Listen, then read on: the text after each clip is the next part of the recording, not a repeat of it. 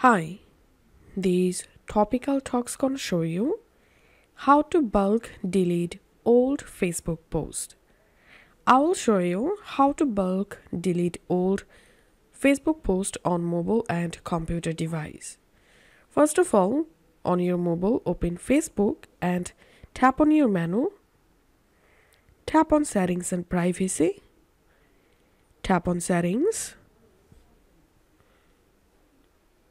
Here scroll down and tap on activity log.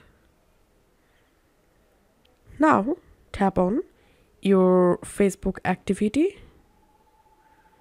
and tap on manage post. Tap on filters. Select categories. And here select your post photos and videos. Again tap on filter and select date. And now to bulk delete old Facebook post, I'm going to selecting a custom date, custom starting date.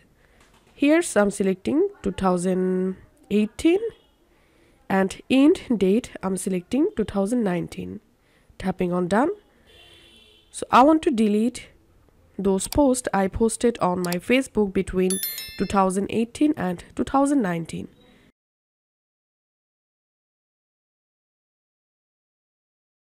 And here we can see all of my old posts. Now to delete all of them just tap on all to select all posts and now tap on trash.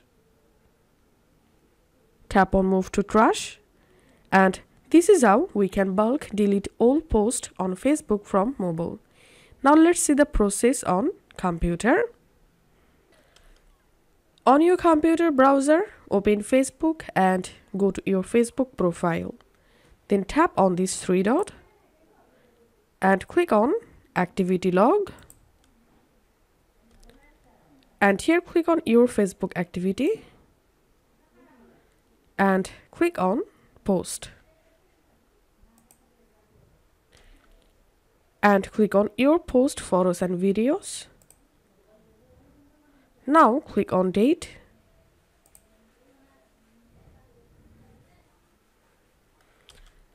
And select a specific date and click on save changes.